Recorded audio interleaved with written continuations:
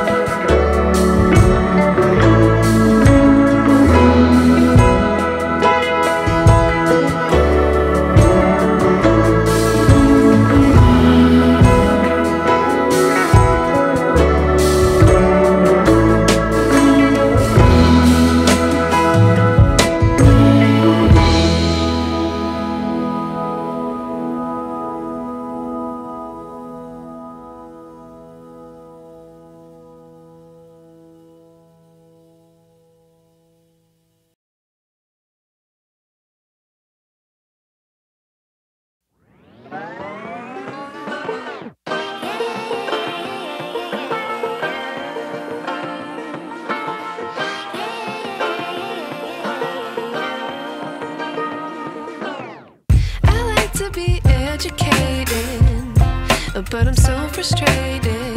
Hello to my loneliness. I guess that ignorance is